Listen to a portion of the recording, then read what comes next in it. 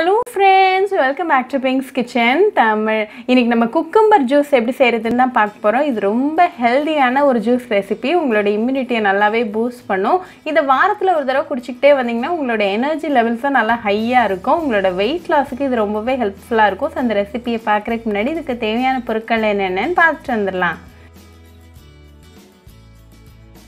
இன்றைக்கி நான் ஒரு மீடியம் சைஸ் அளவுக்கு குக்கும்பர் ஒன்று எடுத்திருக்கேன். இதை குட்டி குட்டி பீஸாக கட் பண்ணி ரெடியாக வச்சுக்கோங்க. இப்போ இந்த குக்கும்பர் பீஸை ஒரு மிக்சர் ஜாருக்கு மாற்றிடுங்க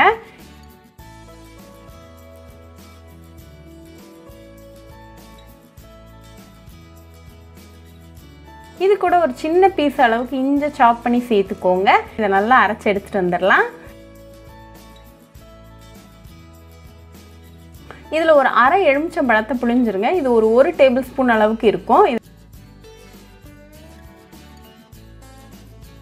இப்போ இது கூட ஒரு கப் அளவுக்கு தண்ணி சேர்த்துட்டு அகேன் நல்லா அரைச்சிக்கோங்க. இப்போ நமக்கு ஹெல்தியான குக்கும்பர் ஜூஸ் ரெடி ஆயாச்சு.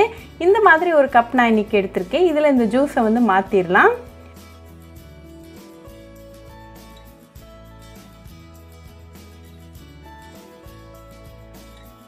இந்த ஜூஸை இந்த கப்புக்கு உடனே மாற்றிட்டு உடனே சர்வ் பண்ணி உங்கள் ஃபேமிலி அண்ட் ஃப்ரெண்ட்ஸ் கூட என்ஜாய் பண்ணுங்கள் ரொம்பவே ஹெல்தி அண்ட் ஈஸியான குக்கும்பர் ஜூஸ் ரெசிபி உங்களோட இம்யூனிட்டியை நல்லா பூஸ்ட் பண்ணும்.